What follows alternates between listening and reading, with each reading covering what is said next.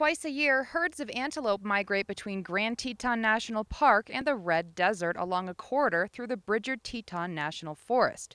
The same route has been used by the antelope for about 5,000 years. They are the longest surviving endemic species um, in North America. They've been here 30 million years, so they have survived longer than any of the other mammals that ungulates, actually ungulates, um, that are now gone.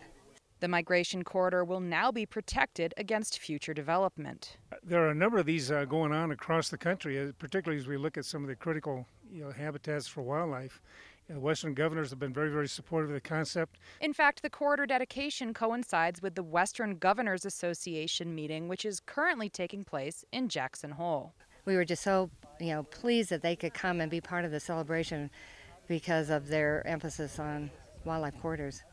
The corridor's boundaries were identified through years of research. Animals were fitted with GPS devices to track their exact locations. This is how things are going to happen in the future, and I think, you know, this is the first, uh, certainly for, for Wyoming. And if you think about you know, Wyoming being first with the First National Park, First National Forest, uh, you know, this is a great first for America. So. And I've been in government for 30 years almost, and this is probably the most significant thing and the, and the most rewarding thing for me in the Bridger Teton National Forest, I'm Cheryl Lee for K2 News.